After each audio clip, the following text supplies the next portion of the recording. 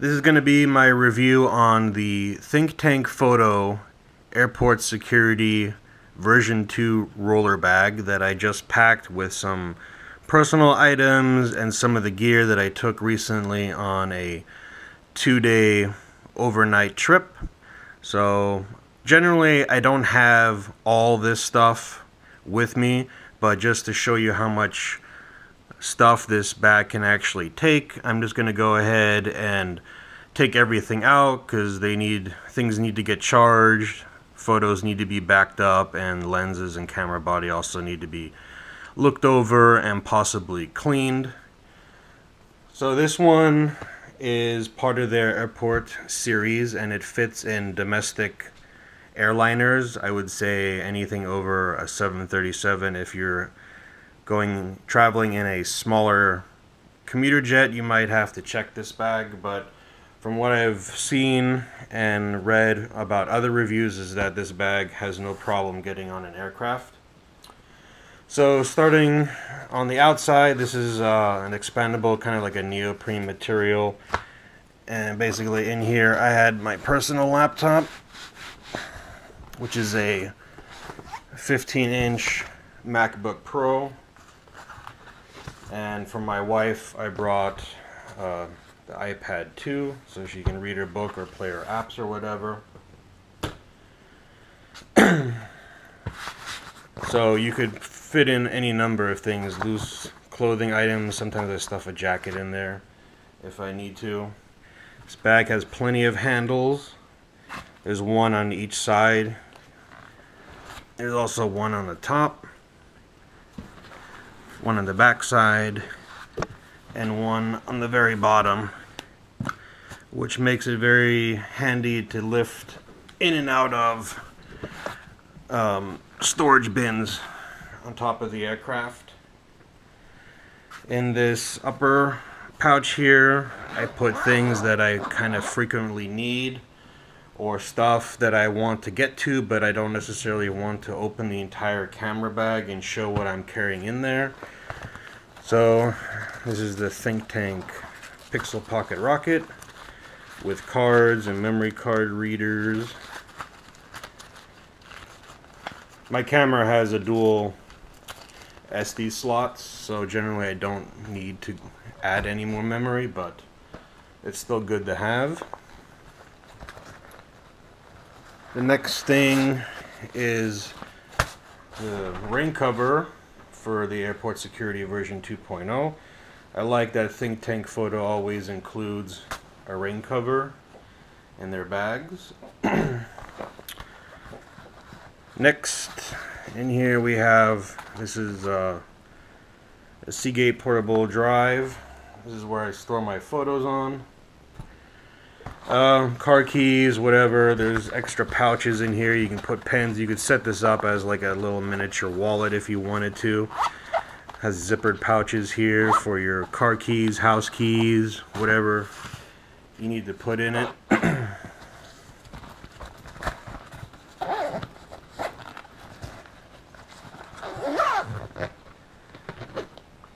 so to get in the bag, there's this nice, I've never seen this lock before in any other luggage.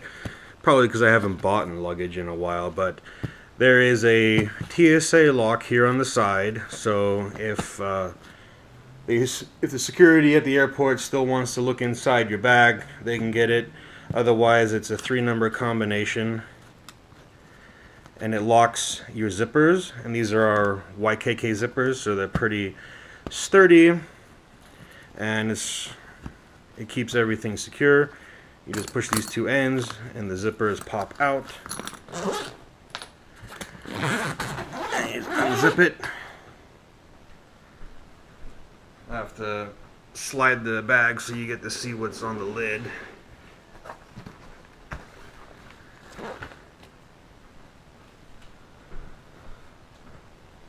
So here, there's uh, three varying sizes of pockets. They all have nice zipper and they have uh, zipper protectors. These are little pouches, so when you close the lid, this is not going to scuff up items that you would have stored in the main compartment so it kind of just sits in this little pocket there and it won't scratch. Up here, I keep a copy of all my serial numbers in, in case we got uh, too many lenses or too many cameras around and we don't know which one's which.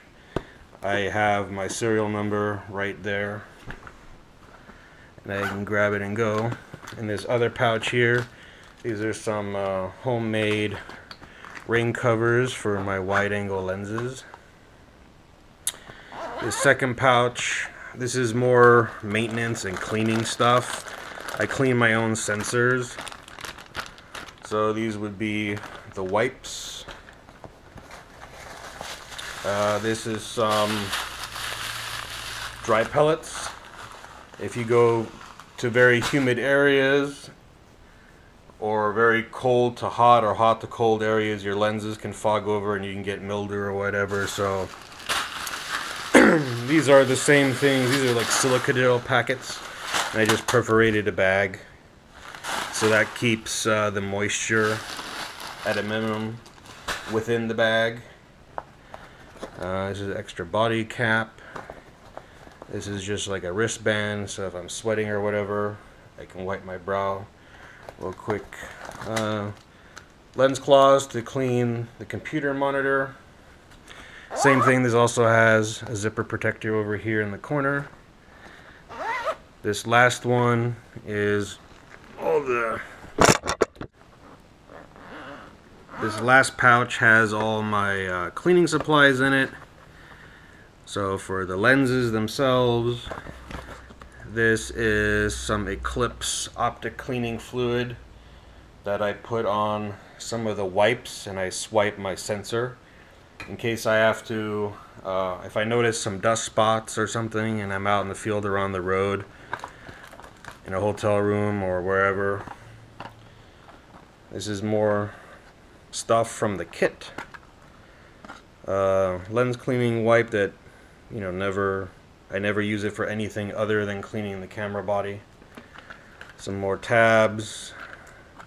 This is the brush to dust off any particulates on the sensor that I can see, a lens pen, and this is the swab where you wrap uh, some of the lens wipes and swipe your camera lens uh, and your camera sensor. Q-tips to clean the viewfinder. Some lens tissues. Get some of the grime off and some of the grease off if I'm in a if I accidentally touch my lens sensor loupe you uh, take off the lens cap or camera body cap you go in your settings and you flip your mirror up and then you shine this down and you look through it and it magnifies and it also illuminates your sensor so you can see where you have dust or if your sensor is clean. So that's all what I have in the lid. Slide this bag down. Alright, now looking in the uh, main compartment. It ships with tons of these internal dividers. Everybody has a different setup. You know, some people have tons of lenses, some other people have tons of speed lights. So you can basically swap and configure it however you want. Uh, this trip I only wanted one bag so I filled this thing to the brim and I'm not going to take it on an island or such so I'm going to break it down but everything goes in this bag and then if I'm to shoot some wildlife or I'm to go through town or something like that and I want um, more of a portrait lens or whatever this is one of my camera vests. So I would just pick and pick and choose what items I want from in here, set up the camera that I initially wanted, and then teleconverter, uh, macro lenses, whatever I want, I can put inside the vest, and that becomes my second camera bag. That way, I'm not carrying a roller and a camera backpack. I just take the roller and fill what I need in the vest, and that's how I go through town. Um, immediately under here, this is my filter holder. This is uh, an older think tank product. This is all the other stuff. Uh, this would have, you know, anything to deal with uh, time lapse or something like that. So this bag's gonna have its own like lens cleaning stuff, a microfiber cloth, solution, and a brush. Because if you, sometimes you might not know that you have uh, dust on your lens until you stop it down. And then I'm like, oh crap, I got salt spray on my lens or something, so I can clean it real quick. In here are uh, polarizers, different filters, uh, Cokin filter series, and a little notepad pen or something. Back here is, uh, it's not in here right now because it's still on my tripod, but I have the cable release. So anytime I'm shooting uh, landscapes or long exposure, this little pouch has everything in it. Below here is a, I think it's the Joby Gorilla Pod or something. It's one of those twist tripods. You can put it down pretty much anywhere and you can wrap it. Sometimes I'll put the GoPro on this and get some behind the scenes. This is another tripod. It's low profile, so it's good to go under uh, planes and stuff that I also shoot sometimes. It's just not as malleable because it's this is only has one position.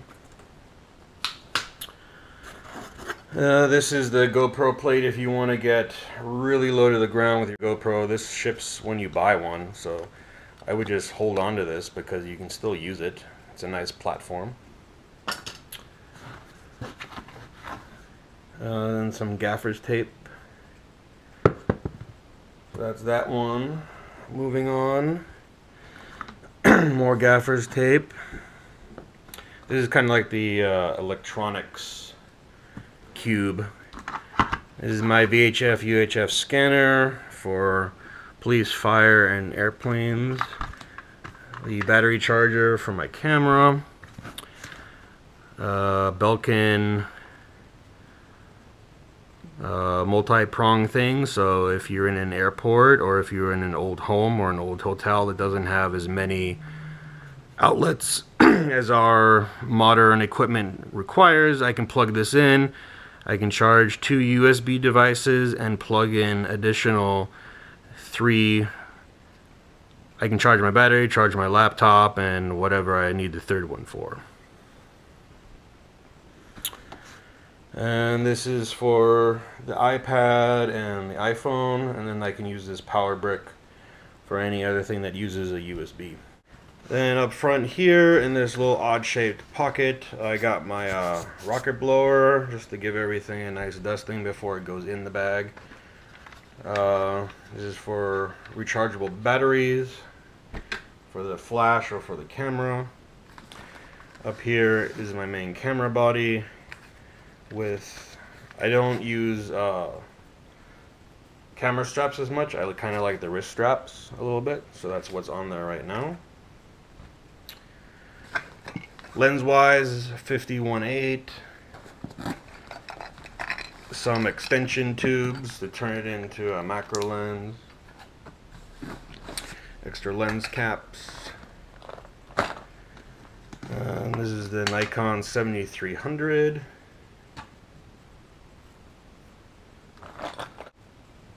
In this pouch, it's all the power supply for the camera.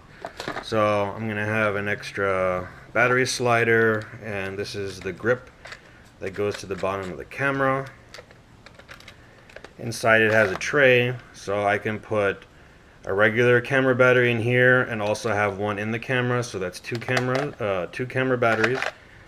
But if I do run out of battery, I can run to any convenience store and pop in six uh, A batteries and it fits in the same slider. So even if you're out in the rural areas or in the boonies and you don't have power to charge your camera regularly, I can still run the camera on double A batteries.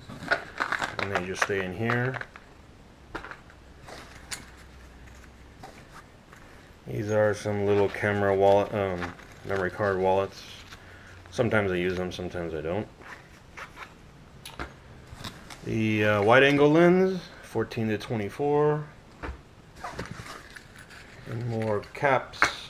In here, everything pertaining to off-camera flash. Got some wireless triggers. A Yongnuo flash for macro or shining a little catch light and birds or something. More batteries. And that's pretty much it from there. This is the GoPro pouch, so everything that I need to mount the GoPro fits in here, including extra battery. And it's nice and clear, different backings, different mounts. So I can see what part I want and I can easily find it. An Allen wrench, because everything usually uses the same Allen wrench. Um, power supply for the Mac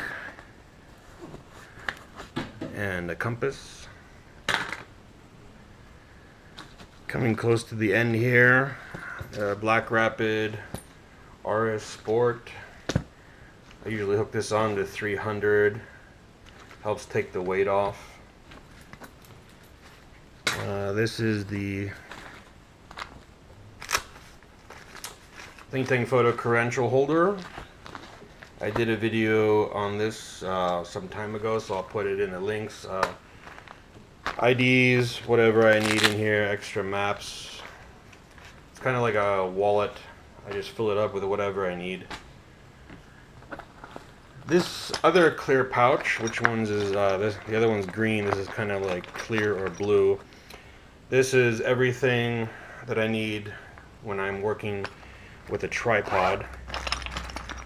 So it's got extra ThinkTank Photo red whips, an extra clamp, this is a Arca Swiss plate, some tools. I also have the uh, Peak Design Capture Pro plate if I want to attach the camera to my uh, backpack strap or something like that. So there's extra tools in here.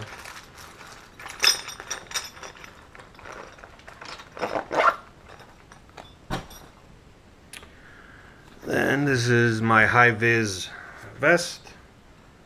Anytime I get out of my car and I'm near the road photographing uh, some snow geese, snow owls, hawks, herons, landscape, waterfalls, or something like that, I always put on a high vis vest because people don't really notice you when you're standing on the side of the road. So this just, uh, especially when I'm on a bridge or something like that, even though there's a, a walkway, people not might not see you until it's too late, and I don't want to have an issue. So uh, this can also act as a vest because it has fairly large pockets.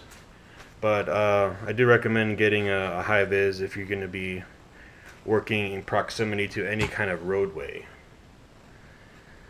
And then under that, this is the 300 F4 with the 2X uh, teleconverter. So it's kind of, it's not a true 600, but kind of acts like a 600 F8. And if you have enough light, you can get some uh, pretty sharp and fast shutter speeds because it is a prime lens. So that's basically the interior of the bag. And like I said before, these are all Velcro. So if you have two camera bodies with lenses already mounted. You can switch this around. It comes with a, a variety of dividers. I just set it up um, this way for now. And as I add more gear or if there's a different job that doesn't require certain things, like I've also had, if I take this one out, I can actually fit my tripod in here. Uh, normally it's mounted on the side and I'll show you that in a second. But it's good to know that I could travel um, with everything actually in this one bag. I just have to figure out what I need from this area, but I can fit my carbon tripod right in here, and it would be perfect. Because uh, last trip to Hawaii, I had an issue. I had a large Manfrotto tripod, and we had to shuffle some luggage material around to actually uh, take it. So I'll just show you a few more details about this bag. Just close up the lid. Show you how this lock works here. so you just push the zippers in there and they're locked. That's one of them. There's actually a few more. So let's say you had a laptop stored in here and you're on a long flight. You might not want to have that on your seat, so you think it's secure uh, stowed up top. But just to be sure, this bag also has another cable. This is another uh, three number combination cable. And you could hook this in, like if you have a laptop bag, you could snap this in here and put your laptop in there and if somebody wanted to, even if you're at a cafe or something and your laptop's poking out, if they try and pull it out, they're going to get snagged on this and you'll actually feel it. So that's lock number two.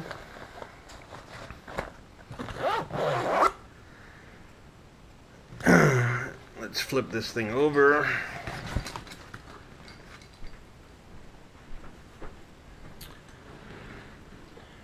So on the back, you have another compartment. Cool thing about this size, this is the security, so it's US domestic. They make a, a slightly smaller one that fits uh, smaller prop planes and is also good for international flights, but the international one doesn't have these. These are, in certain situations, you might want a backpack like if you have to climb a long set of stairs or something like that. So these are quickly deployed. They clip in right at the bottom of the roller. And now instead of hauling, instead of rolling, I don't know, 40 pounds, 50 pounds of gear, you can haul it over your shoulder for a brief amount of time. These are super thin, but I mean, they're still good quality, but nothing compared uh, to a standard camera backpack and they fold up nice and neatly but I'll deal with that later. But in here we have a little hid compartment and here's the third lock. This cable runs actually there's a chassis inside the bag so this is actually connected uh, to that. So here is probably your biggest uh, theft deterrent in here. I might upgrade the lock. But, um, so, if you're on location or something like that and you're going to be distracted with your model or with the family that you're working with, and you, this is bag's going to be out of sight for, you know, even a split second, you can take this lock and wrap it around a tree, a bench, wherever you might be if you're at the airport and you're kind of tired because you've had a long flight and you've you know you're worried that you might zone out you can wrap this around any column or the bench or even wrap it around your own leg or something like that. And uh, it's just the little you know little anti-theft things. If they see this bag is locked up they're going to move on to the next bag that's less secure because they don't want to spend any more time in the area than they have to. They'll start looking suspicious or something, or people will recognize them. So they want to get in and get out, and any one of these locks will help deter at least some of the idiots that want your stuff.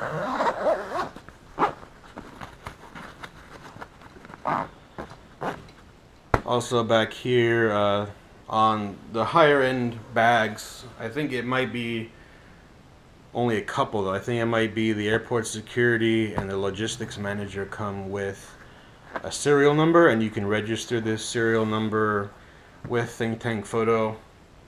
And if you say if you were to forget it in a cab or something or in a shuttle, there's a number that they would call and if you registered your bag, Think Tank Photo is trying to get in contact with you and return it. Then on the side here, we got, I haven't quite used this pouch, so I don't really know. I might put a, might put another radio in here perhaps, or something like that. Uh, this buckle here is to mount the tripod cup. My larger Manfrotto would uh, most likely need that.